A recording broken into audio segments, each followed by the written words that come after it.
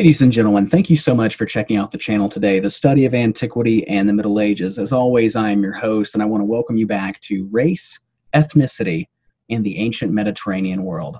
Dr. Rebecca Futo Kennedy, thank you so much for coming back on today. Happy to be here.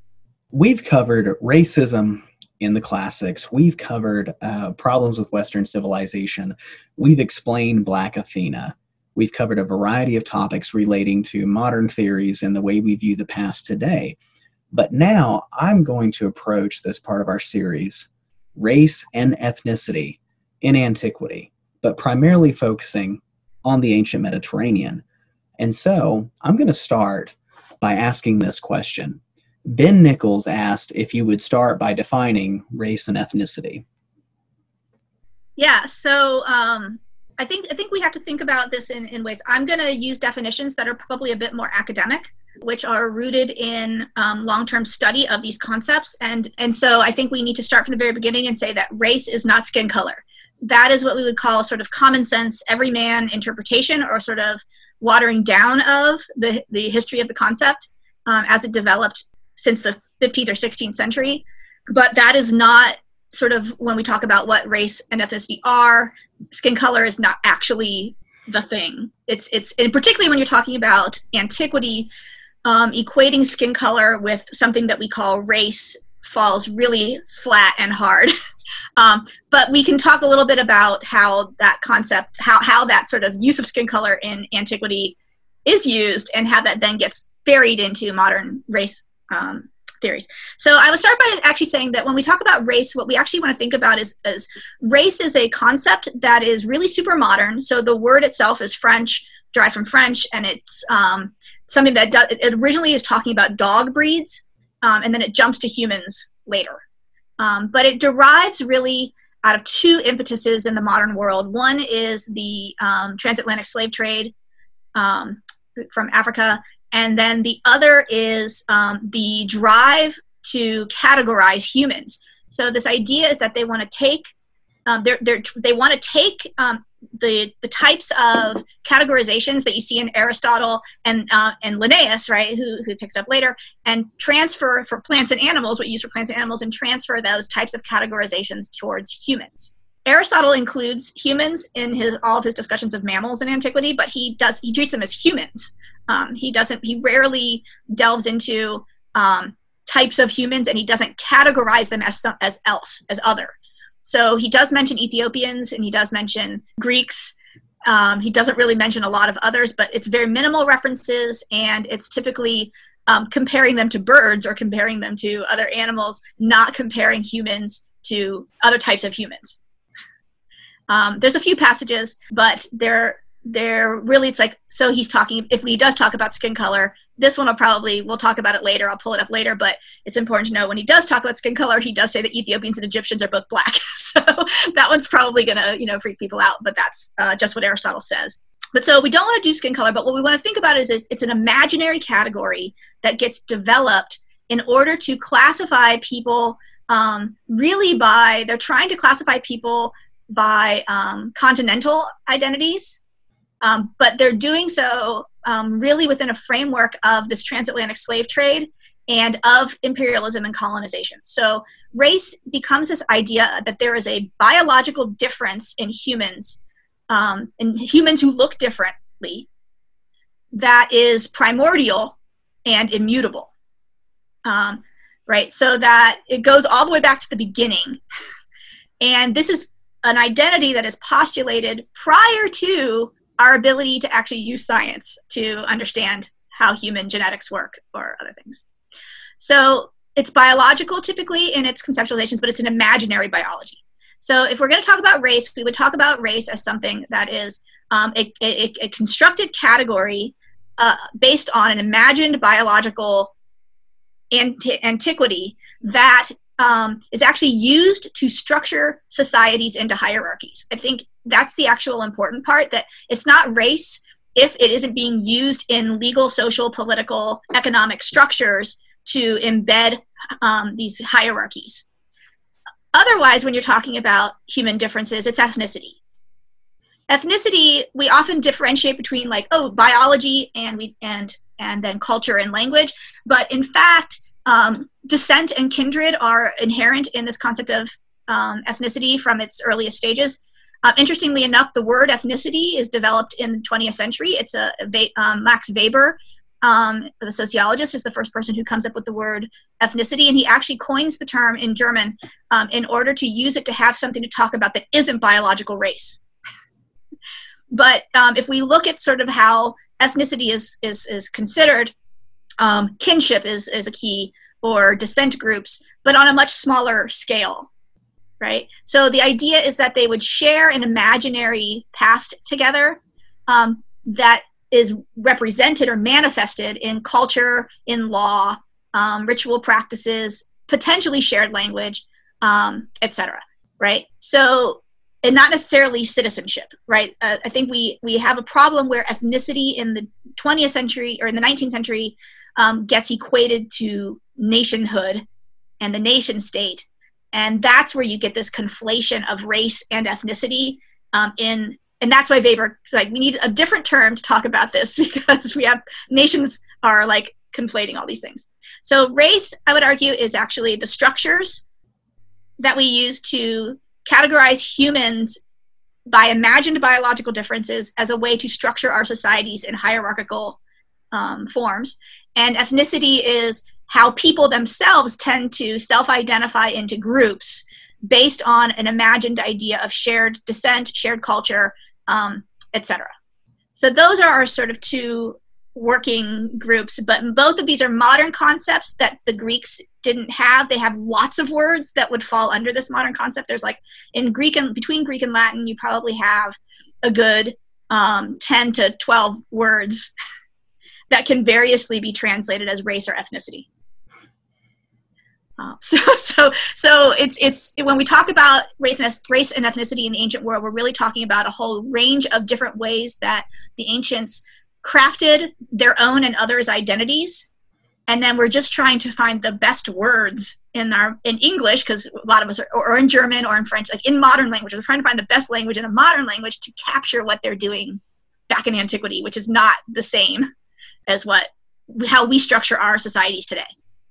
Sometimes we'll see things that are close, right? So if you think about uh, modern racial constructs in America and uh, Jim Crow, for instance, the Athenian um, immigration system, they had a, a group called Metics, M-E-T-I-C-S, not medics, as in people who are you know doctors, um, but Metics, Metoikia, um, that is actually a constructed um, category that is basically a legal structure that is meant to exclude anyone who is an Athenian under the belief that they anybody who isn't an Athenian and not Greek but Athenian is biologically different and that any intermixture between Athenians and these other people actually leads to corruption and denigration of Athenianness. So um, this is another thing we really want to think about with race and ethnicity is that not only are these modern words that we're trying to sort of see if those dynamics, how those dynamics play out and trying to capture what's actually happening in antiquity, but when we can't actually talk about Greeks and Romans as a primary functioning identity for people, we use those phrases because that's what we call them. But Greeks, of course, is a Roman word.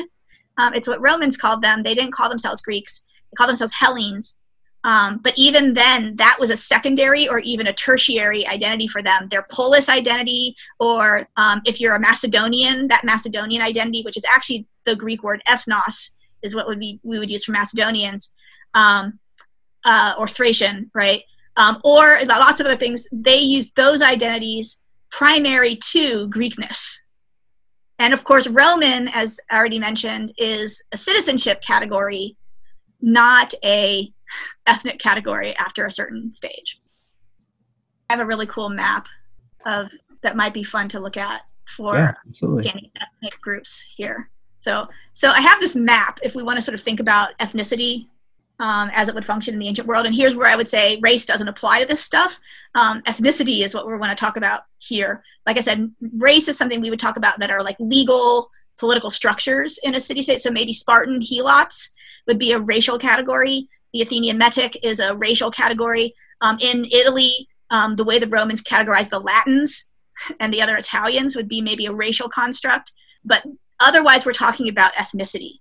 And ethnicity, as I mentioned, is often an identity, it's often a group identity that you put out for yourself and then you hope other people adopt it but sometimes they adopt it with names that you might not prefer right um, do the scythians call themselves scythians that's a greek word right um, for the romans they're like we call them we, we they call themselves celts but we're going to call them gauls right? So um, but it is still a group that self-identifies. So this is a map that i'm going to share with you that is from that is made it's one of my favorite maps. So it takes this really famous uh, the Apadana at the Palace of Persepolis in um, uh, is the Achaemenid Persian palace, and this is where one of the the locations, the cities where the the great king of Persia would hold court, and where he would accept tribute from all the different people who paid them tribute.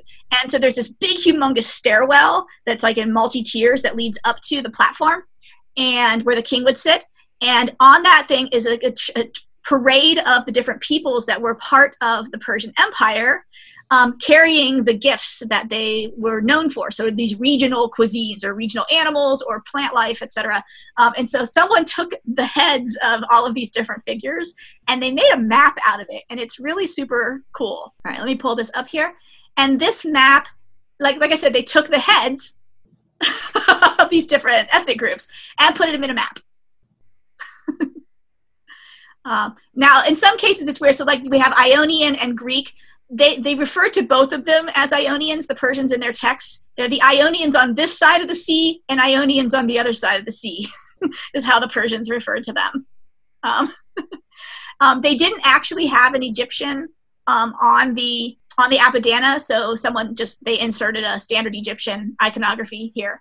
But these are how the Persians viewed um, the Achaemenid Persians in the fifth century, um, how they viewed um, the different groups that made up the the membership of their empire, right? And the Persians actually positioned those groups on the Apadana so that the people who live the furthest away from them are at the edges, and then as you get closer, it's the people who geographically live closer to them. And they considered the people who lived further away from them to be less quote unquote civilized, that's a modern term, and the people who lived closer to them to be more like them and therefore more civilized. So, this ethnocentric view that the Greeks had of themselves is something that, that was shared also with the Persians, and it's also shared with the Chinese. The Chinese have their own concepts of the barbarian. But here it's pretty cool, right? Scythians, pointy, there's two kinds of Scythians. There's pointy hatted Scythians, and then there's also floppy hatted Scythians. I often refer to them as Smurfs. Um, but, but you have the Sogdians, the Bactrians, uh, Gandhar, right? Um, people from uh, the Indian subcontinent, right? So all these different groups that show up, uh, and this is what we would call ethnicity, right? A representation of ethnic groups from the ancient world. So yeah, so it's a pretty cool map. But this is a, this is like so like I said, race more like a, a systematic, legal, um, economic, political structuring for differentiating and, and for creating groups that are excluded. It's about exclusionary, creating exclusionary groups. Ethnicity is more like cultural expression and and imaginary cohesion as a descent group. That is very interesting. I like that map actually. I'm i know it's, so, it's one of my favorite maps. Um, and I show the stairwell to the students, and then I show them the map, and they're like, "Oh, that's kind of because like, you could put them, you actually put them where they come from, and then you actually see how big the Persian Empire is."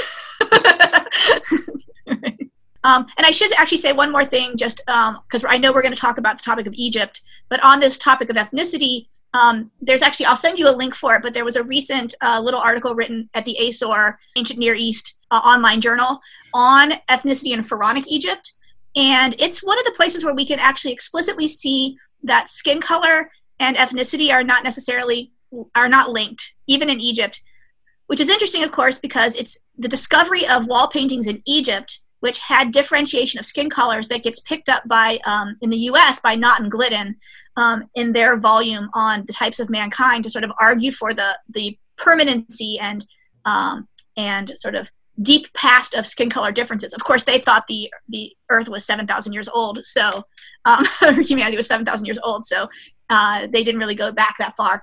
But this um, article actually shows how um, people who are the, the sort of interconnectedness and the ways in which Egyptians they did ethnicity mattered like so the difference between someone who's nubian and maybe libyan or what they would call what they often translate as asiatic so someone from west asia maybe that they, they did mark those differentiations but they also didn't mark them. So we have like single individuals who are on a tombstone, their own tombstone represented is Egyptian, but then they're on an Egyptian, another person's tombstone represented with as, as quote unquote Nubian um, in their clothing style. And then sometimes you see a hybrid, right? So it's like they're black skin, but in Egyptian um, clothing, but with you know different hair or something and this actually shows you this this issue of ethnicity as not being an easy category for us to apply from the modern world into the past because they all have their own different systems and codes and our job as historians is actually to find out what those systems and codes are and then try and explain them as best we can um, but because the language of race and ethnicity are such and national and, and nation states and nationalism are such hot topics uh, and such hot button issues and controversial issues in our modern context um, it often gets um, misunderstood and it often gets misused. Uh, and the past gets, instead, people take the present and project it back onto the past. But Egyptians had their own code, and it's different code than Greeks, and that's different code than Romans. And Athenians had different codes than Spartans, or they had different codes than Black Sea Greeks who were living with the, you know, amongst and intermarrying with the Scyths, or the Ionian Greeks who are living in and intermarrying with and and uh, have, have, closer connections to members of the Persian Empire than they do to like Spartans or Thebans or others back in mainland Greece. And then, of course, you have the Western Greeks who are over in Italy or who are in North Africa living amongst the Carthaginians and the Phoenicians, um, or they're on Sicily, which is this like sort of melting pot of pretty much North Africa and um, the Mediterranean and Spain and Italy and everybody sort of ends up in Sicily. Um, so for some reason, everybody ends up in Sicily and Crete as well, right? Those are the sort of two hot spots. Um, so so yeah, so it's it's we have to sort of figure out what they mean, and that's actually really hard work. I just think it's really important for us to recognize that identity, like what we call race and ethnicity in the ancient world, that these are not exclusive categories for the ancients that one can be a Roman and be a Syrian and also be you know, Hellenized, and um, one can be a Greek and an Athenian, and they can be from their deme as well. They can be Egyptian and be Greek. you can be all sorts of different things. You can be Nubian and be Egyptian. You can be Egyptian and be, you know, Phoenician. Like it just it just doesn't work the way that we want it to work. These are multi-layered and functional identities. They pop out the identity that they need in the context, and we see this on their tombs. We see this on um, uh, on legal inscriptions. Like if you can you can find the same person making contracts in Latin, but also their tombs in Greek, right? Or one of my favorite tombs is a Hellenized Jew, probably from Alexandria, who is buried in Rome, but their tombstone is in Greek and it has Greek tragedy masks, and then it has like the the, the shofar and the uh, menorah on it to indicate their Jewishness. But they're in the Roman catacombs using the Greek language, but they're putting Jewish iconography on it. That's how it works. Uh, it's not ex- exclusive. There's one identity, and that's what they have. And this is one of the biggest problems with genetic testing on ancient DNA is that it's trying to find something that isn't actually applicable to the ancient world. And it's actually one of the biggest problems with the studies of race and ethnicity in the ancient world is this idea that identities are, indi- are singular and not multiple.